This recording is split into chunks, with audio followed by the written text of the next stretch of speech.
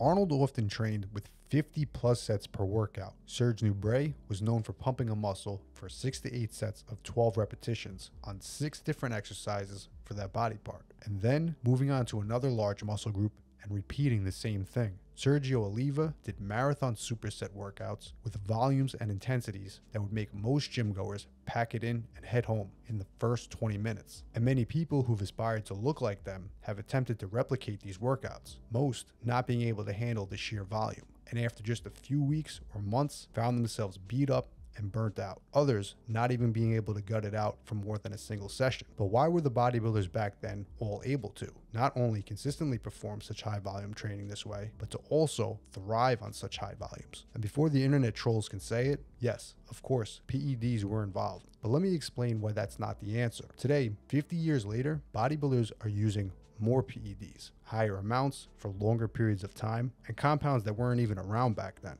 Today, guys are relying on the anabolics to drive muscular changes and supporting it with diet second and training third. Back then, guys did the complete opposite. Training was the driver of muscle growth and then nutrition. And yes, anabolics were used to support that training stimulus. However, that doesn't mean that enhancements are a requirement to make progress in the gym. And as a natural, you should do the same thing, following the principle of training first. Focus first on training as a stimulus and support that training with proper nutrition to aid in muscle growth. But now, let's get back to the actual training and how they manage to do such high volume and why many claim it can't be done today. This comes down to one thing intensity. Does the intensity match the volume and the frequency? When it comes to bodybuilding training, you have three variables that affect muscle growth and recovery volume, intensity, and frequency. And in order to get the most out of your training, you have to balance all three. But due to the hardcore nature of bodybuilding today, many guys take the intensity as high as possible first, thus resulting in having to take the volume down and lower the frequency. All that just to be able to consistently train at such a high intensity. This is where you hear all of the bodybuilding dogma. You can't train body parts two times per week. You can't recover from more than three to four sets per exercise. More than one set is counterproductive. You can't train two large muscle groups in the same session. The list goes on. All these arguments stem from the fact that bodybuilders assume that every set has to be max effort. But if you actually look back at how these guys trained, Arnold, Serge Nubret, Sergio Oliva, anyone from the pumping iron era, they were in fact pumping iron. They weren't training to failure and beyond and expecting to come back and repeat that same set seven more times. They were matching the intensity to the volume and frequency. Back then, you have to understand that the bodybuilding culture was different. The mentality was different. It wasn't about being hardcore. It wasn't about training a specific way because it got more attention on social media.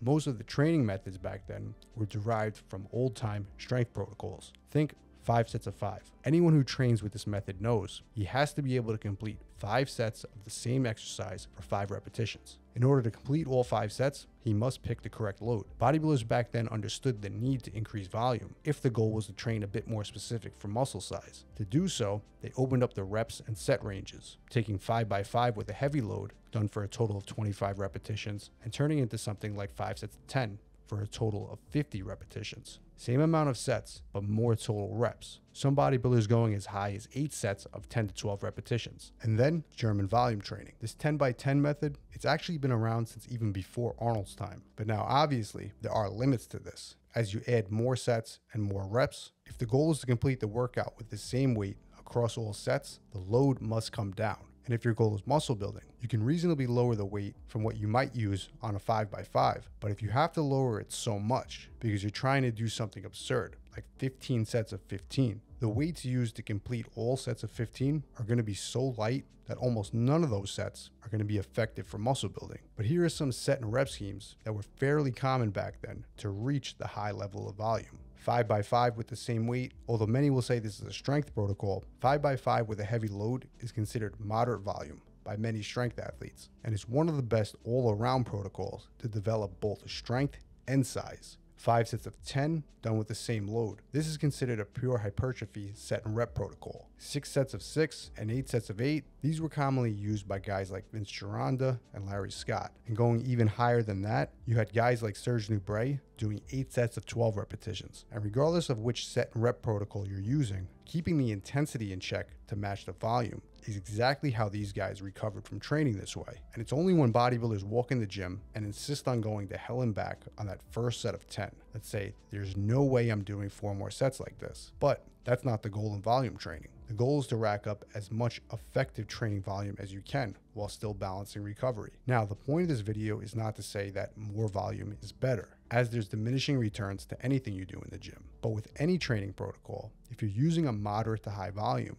and you're finding it harder to recover, saying things to yourself like, that's too much volume, I can't recover from more than that, I can't recover from more than five sets, 10 sets, 20 sets, whatever it may be. Make sure you're scaling the intensity and frequency to what's appropriate for that volume. And if you want to build your physique using proven old school bodybuilding training methods, I highly suggest you check out my five day old school mass gain program in the description below. And as always, if you guys want to see more of the best original bodybuilding content just like this, make sure to hit subscribe.